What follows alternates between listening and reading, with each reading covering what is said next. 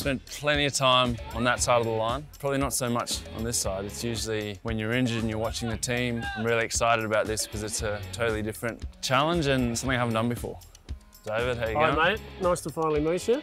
I hear you're a very, very keen photographer. Keen, not that good, but very keen. Pretty exciting to be able to get behind the lens, learn from someone who you know, does that full time. This is harder than it looks.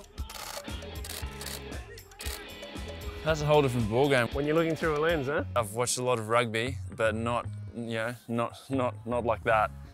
Following the game and also focusing and remembering to shoot. Uh, at times something good would happen and I'd just be watching rather than trying to, trying to capture the right moment. You have such an advantage knowing the game as well as you do. Because the whole thing about sports photography is trying to predict what is going to happen.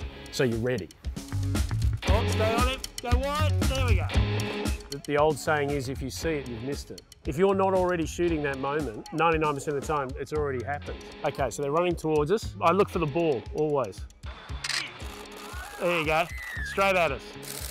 Now that is what you want. Try right in front of you.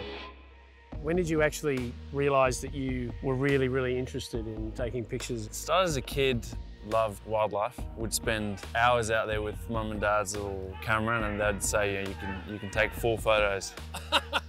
so I'd spend hours and end up with like a little photo of one of the birds that I loved.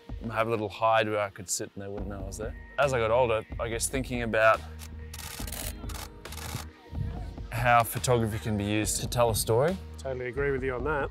I guess a big part of it was thinking about wanting to try and tell stories that would, I don't know, maybe get people interested. Photography is just so powerful. When you're trying to show people something and you can do it with a picture, Mm.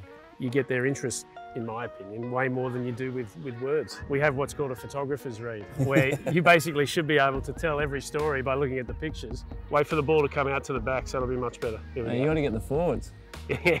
At the end of a World Cup, there is always a collection of photographs that people remember, moments that people remember, and a stills image captures that. All the things that happen in that game into one image so that people understand what's happened. Oh, nice, mate. Well done. That's all right. No, that's that's really nicely framed. There you go. That's how you score a try. Let's do some of the girls, guys. Oh, look at that. Oh, hit it, hit it, hit it. Oh. Oh, that's fantastic. Oh, we'll definitely look at those ones later. Well, a few action shots from the from the game earlier. A couple of really strong carries. I love that. I'm looking forward to seeing some of the, the shots on the computer. Uh, we'll see what I got. I don't know. We're going to look at the ones that worked. That's the best one. Yeah. That is by far the best one. Okay. She's just run through everybody. But the best crop for this picture is tight Yeah. because it will make her hair stand out so much more. It's a ball sport. You've got to have the ball in it. Mate, nice frame. That's cool. Nice frame.